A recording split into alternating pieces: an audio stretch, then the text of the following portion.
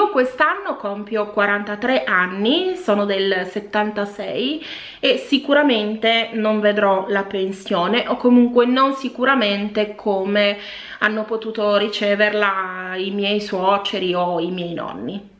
Questo mi preoccupa e non poco perché soprattutto noi che abbiamo un lavoro non stabile perché eh, lavoriamo per conto nostro come freelance, come imprenditori digitali, um, è difficile che riusciamo eh, ad accantonare eh, troppi risparmi perché il nostro lavoro ha degli alti e bassi non indifferenti e comunque anche i contributi versati da chi lavora per conto proprio sono sempre minori rispetto a quelli che vengono trattenuti nella busta paga di un dipendente.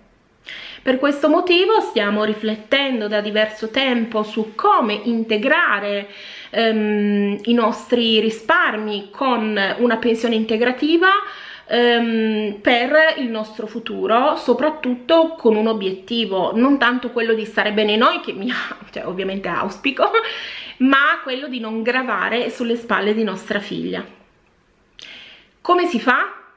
Ecco che oggi cerchiamo di scoprirlo con questa guida e con questa serie di articoli e cerchiamo di scoprirlo con questo progetto di educazione finanziaria che abbiamo ideato insieme ad AXA che spero possa essere utile anche alle vostre famiglie, più che altro come tema di riflessione, perché noi tendiamo a non pensare mai al nostro futuro, almeno non a un futuro così lontano, ma in realtà il futuro e adesso. Vabbè, questa è un po' una frase scontata, ma in realtà il futuro è molto vicino.